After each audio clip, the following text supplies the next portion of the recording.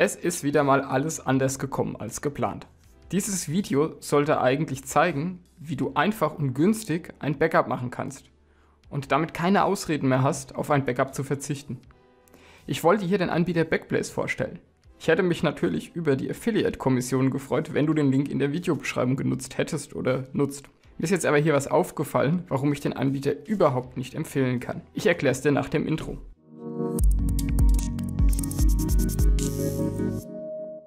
Für mich persönlich ist wichtig, dass meine Daten verschlüsselt in der Cloud liegen. Das heißt für mich, dass der Anbieter nicht auf die Dateien zugreifen kann.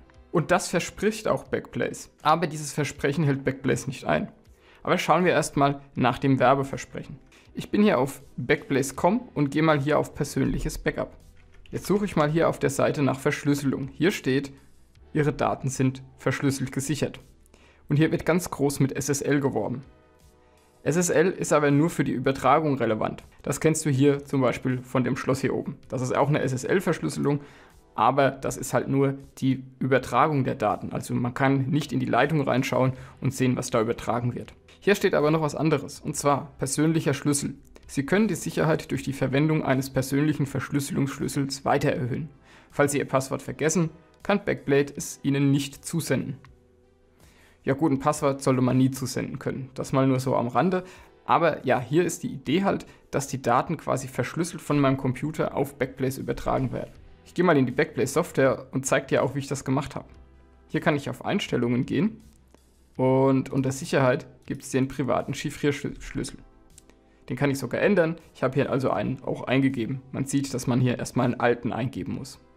Das heißt, ich hätte ja die Hoffnung gehabt, dass die Daten quasi von meinem PC verschlüsselt auf Backblaze übertragen werden. Wenn ich jetzt also meine Daten wiederherstellen muss, brauche ich zwingend diesen privaten Schlüssel. Schauen wir mal, wie das geht. Ich gehe hier auf mein Konto, gehe hier auf Wiederherstellungen oder meine Wiederherstellungen.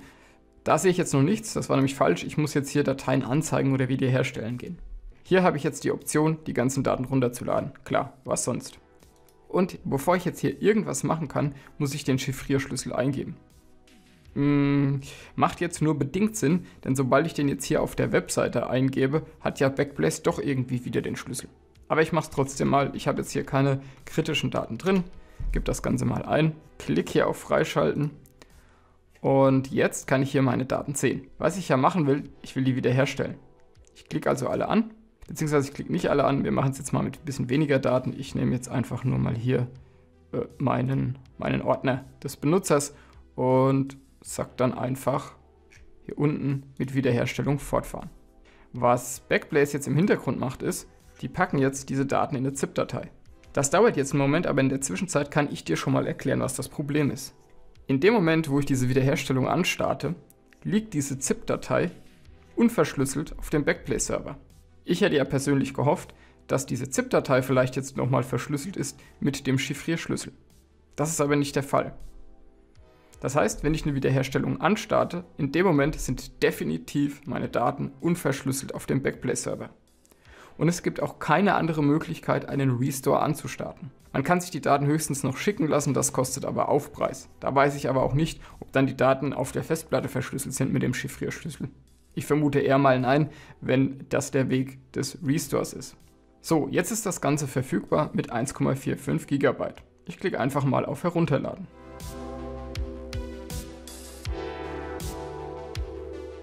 Die Datei ist jetzt heruntergeladen.